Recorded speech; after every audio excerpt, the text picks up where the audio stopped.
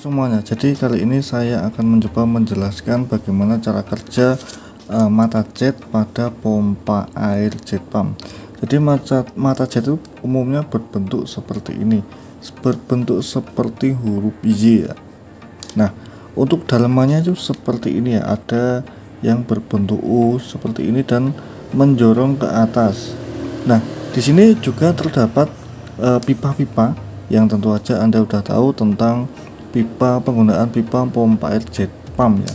Jadi penggunaan pipa untuk pompa air jet pump itu yang bagian tengah eh, yang pipa strutnya itu biasanya menggunakan ukuran 1 seperempat in. Dan untuk yang satunya pipa yang lebih kecil atau pipa dorongnya itu menggunakan satu in. Nah dan di sini juga terdapat kayak klep.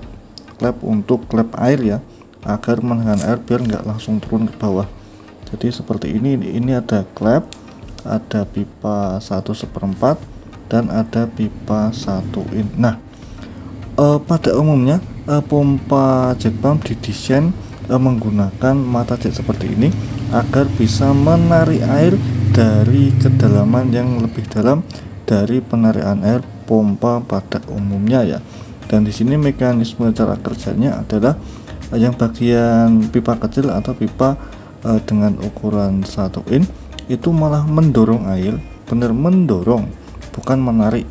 Mendorong air kemudian dihubungkan ke mata jet seperti ini dia menaikkan air kembali. Di sini e, mendorong sampai bawah sampai ke mata jet kemudian dia dorong ke sini.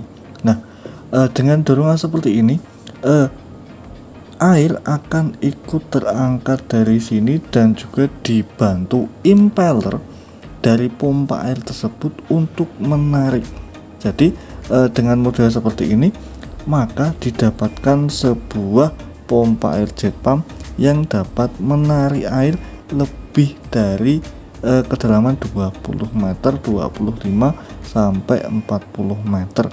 Jadi untuk cara kerjanya seperti ini pipa kecil mendorong air sampai ke bawah sampai ke mata jet kemudian dinaikkan kembali dan juga diikuti daya sedot dari pompa air tersebut.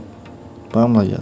Kenapa uh, pompa air jet pump selalu menggunakan perangkat seperti ini pada mesin atau pada posisi pemipaannya?